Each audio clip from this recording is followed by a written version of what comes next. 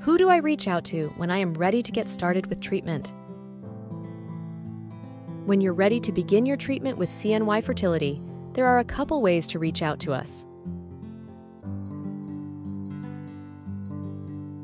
One way is through your patient portal, where you can directly email your nursing team based on your cycle type or monitoring location.